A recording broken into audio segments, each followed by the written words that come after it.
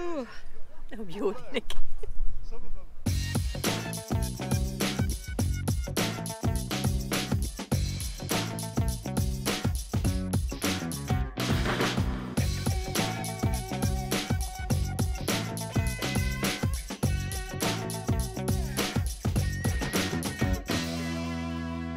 Well, good morning from. Whitcomb. Beautiful little village here. Um, we actually stayed overnight, as you saw, in a motorhome or pub stopover. And this, I think, is somewhere where we could probably live, right in Dartmoor uh, National Park. And things like this here. So public toilets open, all day parking, one pound thirty. Um, recycling probably better equipped in most large towns. Um, and just beautiful, just beautiful. So, just having a little bit of an early morning, it's just after seven o'clock, early morning wander around the village. Then we're going to go back and grab some breakfast, and I think we can actually check out this this church. We actually met someone who lives here, and he says the church is open because he has the keys. So yeah, if you're ever passing through Dartmoor highly recommend coming to Woodcombe. Um, we actually stayed at the Old Inn, which was lovely. There is another pub in the village which we've been um, informed is a sort of better pub just for you know traditional pub ales. The the inn is more of a foodie. Still nice beer in there, so come check out Woodcombe. Woodicombe. It's three miles from Haytor and six miles from Bovey Tracey. Here ends this morning's orientation. Morning work all over. We're heading up to Wistman's Wood in Dartmoor. Kind of somewhere I wanted to visit for a long, long time from a photography point of view. So it's along this bridle track for about half an hour's walk or so. So parked up at tonight's spot. What a view! Anyway, I think we both agree it may be gin o'clock. Although those pigs are making me hungry. Oh, and you wouldn't let me buy sausages. because of the pigs. but tonight, I'm actually going to cook spectacular. Tune in in a minute to see what I'm cooking. It's going to be good. I see you've already got part of it out. It fell out the fridge. Oh, yeah, our overly stacked fridge. Right. Well, someone else has eaten already. He always eats first. And then it's our turn. Do you remember that game we used to play up in Scotland where we were hunting for digital TV signal?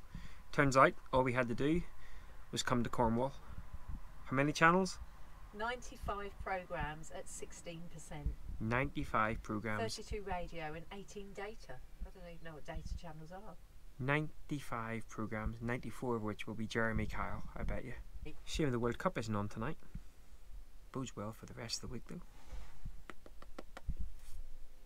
How many now? 108 and we're at 31%. I'm only here for one day. It's a lot of TV to watch. While someone's enjoying her 103 channels, I'm slaving over a hot ridge monkey. Actually, not really slaving.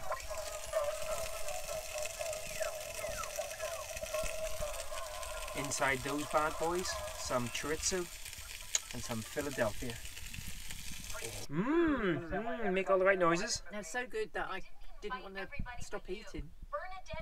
So whenever we were sitting, so actually we're still in the little farm shop that we parked in last night, just waiting f- for it to open, and then we're going to go and get some sausages.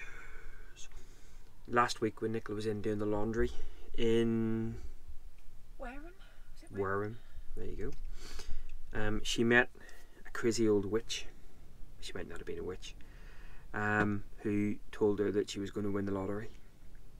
So Nicola bought a lottery ticket, and I don't think we got one number. We got one. So she's either not a witch or she's the world's worst witch. So, anyway. So once we're finished here, we're off to Clove Hill, Clove Hive, Coat Hill or something. Coattails, um, which is a National Trust property. And then we are off to Mevagissey. Um, we're going to actually be staying in the officially sanctioned overnight parking uh, place for camper vans, which is just outside the little village. Because, of course, we don't drive our cars into the village because what happens, Nicola? You reverse into stone walls. And by you, she means Me. Mm. And it wasn't even my car. Yeah, hire car. Last time we were in Mevagissey. there is rumours and rumours of rumours that there may be cream teas on offer in Mevagissey. But we'll wait to see when we get down there. So Mevagissey, if you've never been, beautiful little fishing port down in Cornwall. Oh yes, we're in mm. Cornwall now. Mm. Um, so she didn't get her Devon cream tea. So Or my Dorset. double up in Cornwall, I say. Or my Dorset, because I wasn't allowed one. Is an echo in here? echo in here? Wasn't allowed. Wasn't allowed. Anyway, Next time you get ignored. National Trust, Mevagissey. Job done.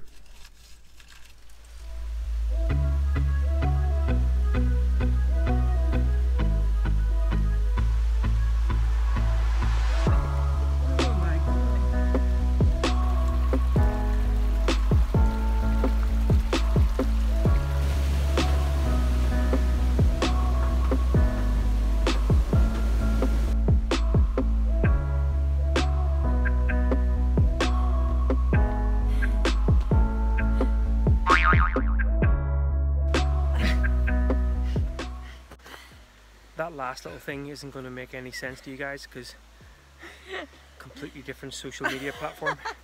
Sorry, didn't realise. So all we did there was poke Nicola's bazookas at you. Some people might like that. Yeah, Subscribers, bing, bing, bing, bing, bing.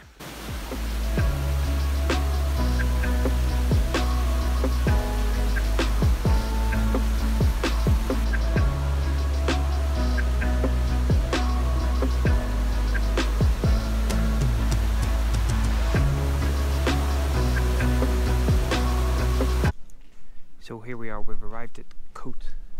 I'm going to call it Coat Hills, Coat Hill. Um, I'll put the name there. Um, so National Trust property again. Um, so we're just going to go and mooch around here. We've got a couple of National Trust, properties to do today. Um, and maybe a brewery as well. Ooh. Right, as usual. Pea stop first of all. Unlike me, the camel. Most things to see and do in the UK are at the top of a very steep hill. So I think Nicola is starting a new trend in walking shoes. Well, we were coming to a National Trust house. How was I to know there was like uneven paths? They should tarmac everything. Yet again, I still haven't transitioned to proper traveller. I'm wearing a flunchy skirt too, so I wouldn't worry about it. We came across a little bumblebee down here that unfortunately we don't have any sugary water. I'd love to give us some sugary water. I've got energy sweets. It won't take it. It needs. It, I'll put a bit of saliva with it. you kill the damn thing. No, I won't, I won't. You're really gonna spit on an energy sweet. Oh, she's doing it, folks. I'm not gonna let you watch this here. Hang on. You little face. How to save a bee.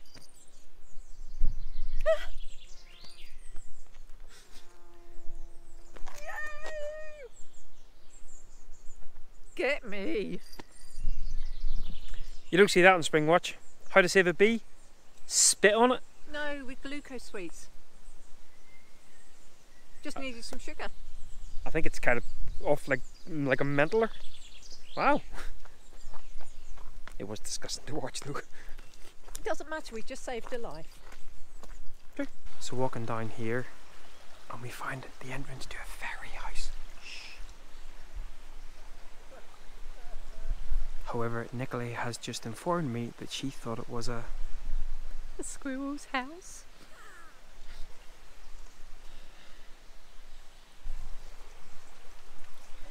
So for the first time on this trip, I'm tempted to go in cognito and go back through the bakery. Oh my goodness me. Oh, the little buns and the flapjacks. Seriously. They were incredible. Absolutely. Inc- I mean, probably, yeah, just incredible. I'm off to get a, a false beard to see whether I can go back in through and have some more. Anyway, water wheel. Not half as interesting as that baking. Oh my lord. Nicola's still in there. She's getting the recipe, so I expect wonderful baking to happen soon. In fact, I think we could probably do some of that baking in our Ridge Monkey.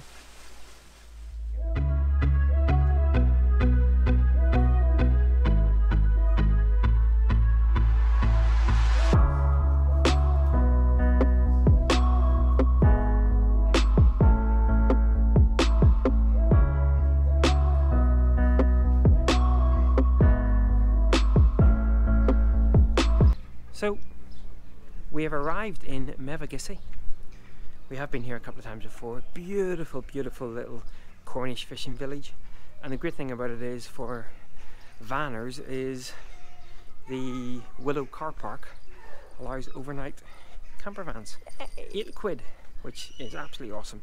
Toilets 90 yards away from um, the thing. They're not open all night, but hey, um, just up that road Up there somewhere. Is where Nicola crashed the car. So yeah, we won't be going up there anytime soon. We've already checked out that the fish and chip shop doesn't shut till 8 o'clock, so fish and chip by the harbours. Mm. So apologies in advance for not showing you the fish and chips. But it was a mission to keep the seagulls off. The lady beside us, I think, had one of her fish bits taken away. So we came down to Mevagissey, and one of the things we wanted to do was have fish and chips outside on the harbour. Hmm. And that's what we did. Hmm. Now, I'm not sure if I've mentioned this place before, but there's a place in Northern Ireland just outside Belfast, which is in Belfast, called the Bethany. Hands down the best fish and chips known to man ever. Doesn't kind of hold the torch to that, but still, for harbour fish and chips sitting outside, Not bad. not too shabby. No, big as well, um, and actually good value. Um, so if you 90. if you're not a huge eater, go for the small cotton chips, but really good. Um, we of course made schoolboy error because we ended up buying bread today. Not that I needed bread to be honest, but we obviously in the van brought our own vinegar and salt, and then proceeded to forget. So we were sort of saying to the girl, "More vinegar, more vinegar, more vinegar." I think she went, "Get out! I was going to start charging for your vinegar." Watch, watch, watch, watch, watch. These bad boys here.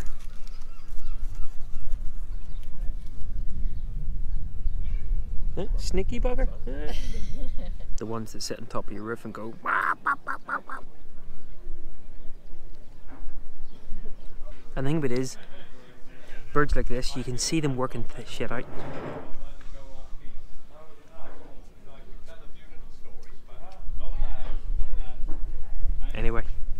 Fish and chips was done. Thirsty now? Well, that was pretty epic. That's one-eyed Jack, the seal, and you can see why he hangs around there because there's a fresh fish uh, van, and apparently, well. and apparently, she's given four mackerel, or she's given about 20 mackerel, and people have bought him about four mackerel today. So that's One-Eyed Jack.